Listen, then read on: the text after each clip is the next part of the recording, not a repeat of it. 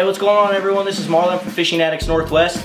Since we're right in the heart of the buoy 10 season and the fish are really, really starting to come into the river, I thought I'd give you guys a little, uh, a little video on how I brine my herring. It's not rocket science. Everyone has their own way of doing it.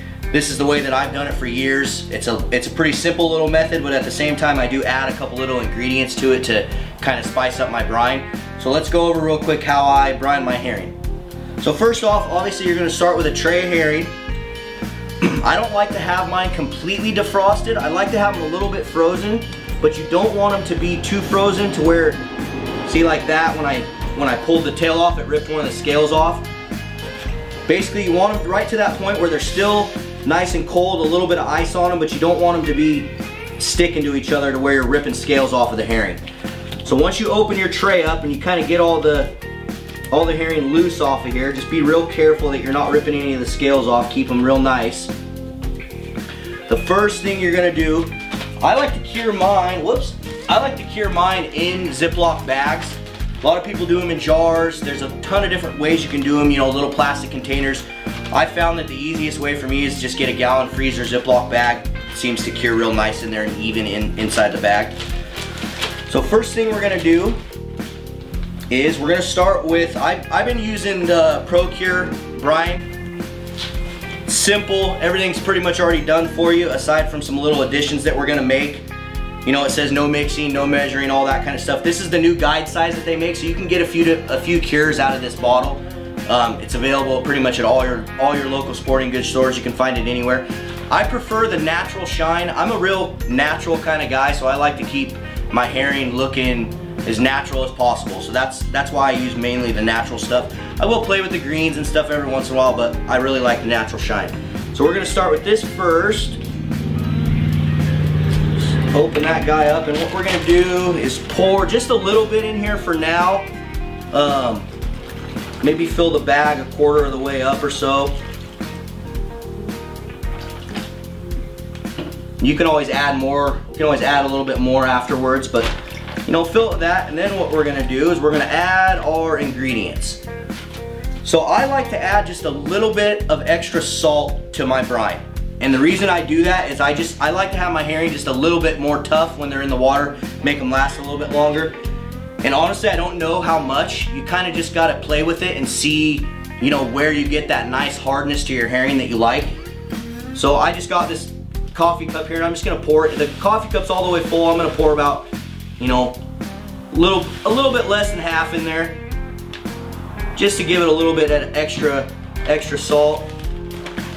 Kind of mix it around in here in your bag. The next thing I'm gonna do is I'm gonna add a few drops of this, uh, ProCure makes a bait bright.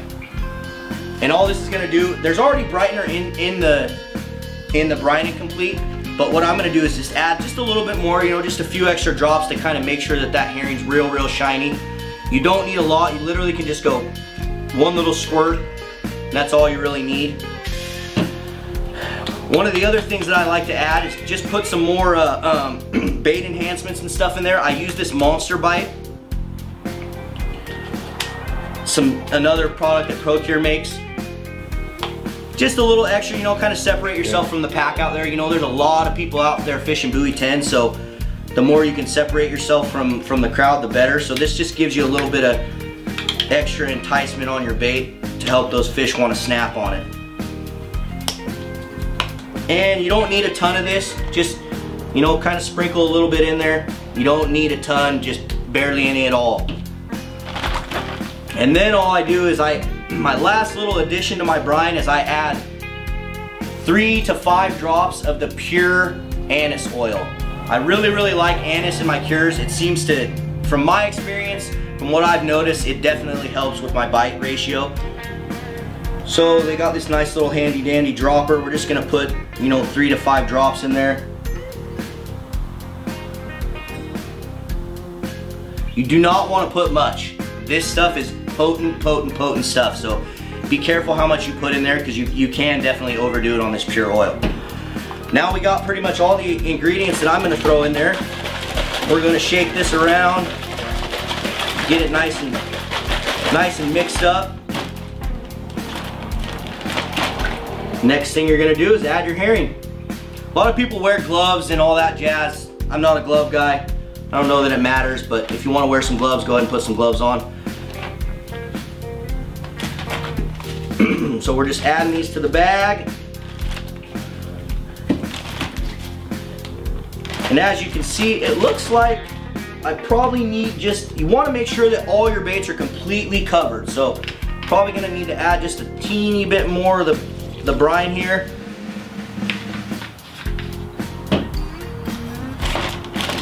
And that's it, you're good to go.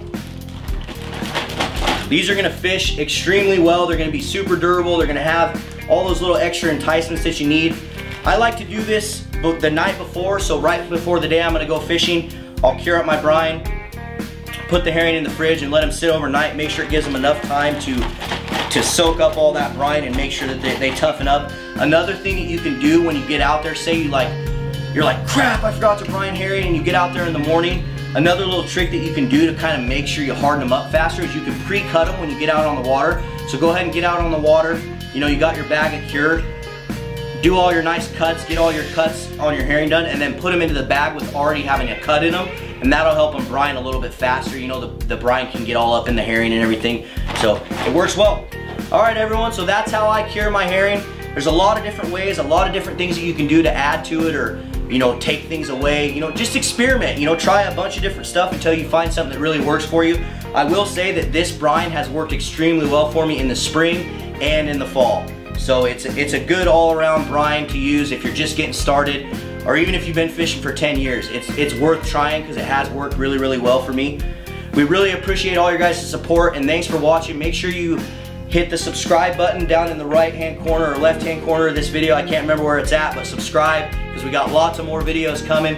If you haven't checked us out on Facebook, do that. It's Fishing Addicts Northwest. Give us a like and we'll see you guys on the river. Thanks.